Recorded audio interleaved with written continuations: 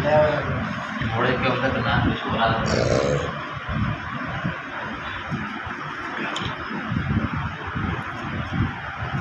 ਆ ਕੜਾਈ ਹੈ ਜੀ ਇਹ ਕੜਾਈ ਜੀ ਇਹ ਗੱਟੇ ਦੀ। ਇਹ ਦੋਵੇਂ ਦੇ ਕੁੰਡੇ ਨੇ ਜੀ ਹਾਂ ਆ ਰੋਟੀਆਂ ਨੇ